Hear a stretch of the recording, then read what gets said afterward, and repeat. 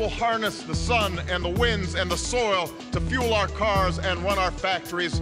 And we will transform our schools and colleges and universities to meet the demands of a new age. If you take a broad view of what jobs involving these new technologies would involve, I think you'll find that they will embrace a big part of the economy. We have a broken economic compass. We have an economy where the only output that is being measured is produced output. GDP growth does not account for, does not capture the many values of flows from nature into the economy.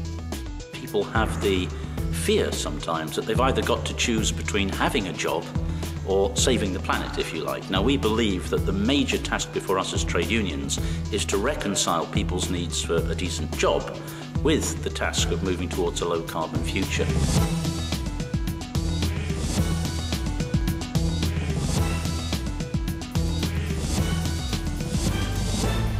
Governments in developed countries have announced green measures in the stimulus packages designed to reactivate the global economy.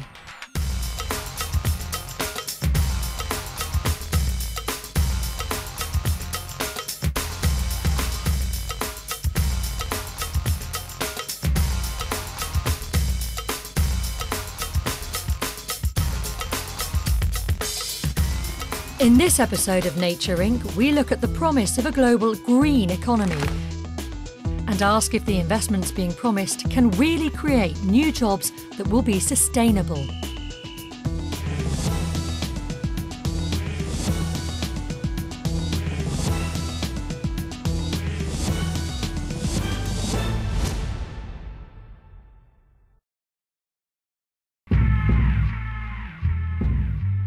For decades, the environmentalists have said that investing in sustainable development will lead to sustainable job creation. At a recent conference on green jobs in Washington, D.C., the global recession seemed to be creating a platform for the switch to a greener economy. Amongst the speakers were environmental activists. Are we locusts? Are we going to drive mass extinction until we extinguish ourselves? Are we locusts? Or are we honeybees? Let's be brave. Let's build a green growth alliance. Leaders of the United Nations. Environmentalism in the 21st century is about the jobs in our economies of tomorrow and where our children are going to find a way to make a living on a planet which is rapidly losing its very capacity to sustain us and perhaps most surprisingly, traditional workers' organisations like America's Steelworkers Union.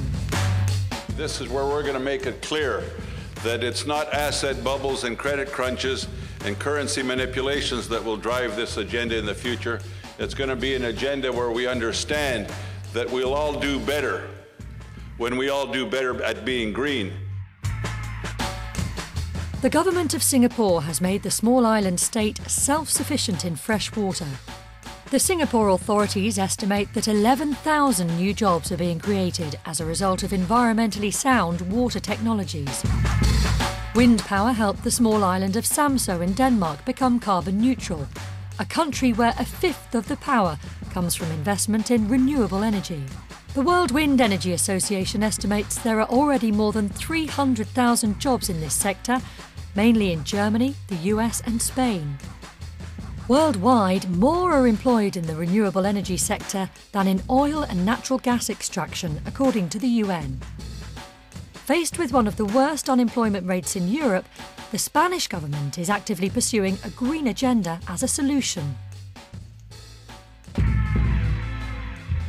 China has earmarked 140 billion of its 586 billion dollar package for green investments. But can investment in renewable energy and environmentally sound industries really create the millions of jobs needed for the 200 million who, according to the UN, are unemployed around the world? China just wants to be a responsible member of the world, and in so doing, it's got to keep its environmental commitments and it's got to promote environmental protection. It's also got to maintain its uh, economic growth and it's got to ensure its social stability. Promoting green economy helps it again do both in a policy coherence way. During China's extravagant showcase to the world, the Beijing Olympics, one of the green measures encouraged by the government was the installation of these green toilets in the Olympic arenas.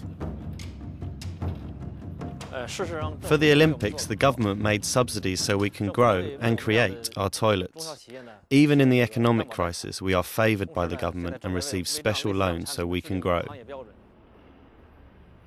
The clever toilets do not need water, using recycled urine to flush, and have an inbuilt system that treats the waste. And now we have to sit and wait a minute. The toilet has an inbuilt timer that helps it to recognise what kind of deposit is being made. The company is now making 30,000 toilets per year, but these kind of measures are quite literally a flash in the pan. While China aims to quadruple its GDP by 2020, it must cope with the environmental damage its rush to industrialise will cause.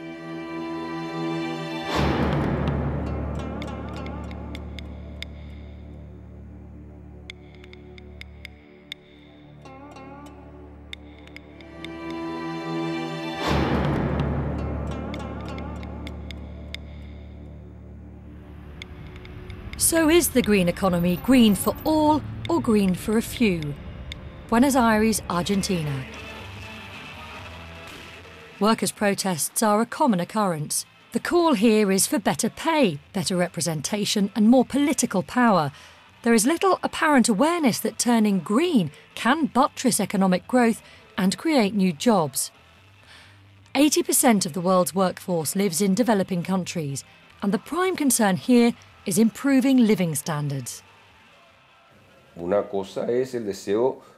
One thing is the wish of European workers to fight for the return of a greener welfare state, while we in the developing world aim at least to be able to reach a decent standard of living.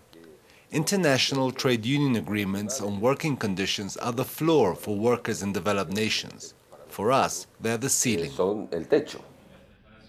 A meeting of Latin American trade union leaders in Buenos Aires discussing how to introduce climate change into their agenda.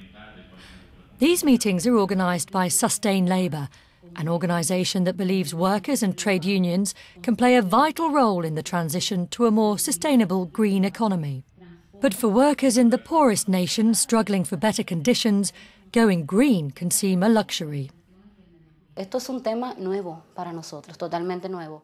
This is something completely new for us, but we understand it's important. Climate change causes expenses that the government could not imagine. It's had an effect on companies and development. So, like it or not, we're going to have to face this together. Frankly, we are like newlyborns when it comes to the green economy. In my country, there is absolutely no sense that we have to work together as a nation to create a sustainable economy that has a real effect in changing people's understandings of the threats we face.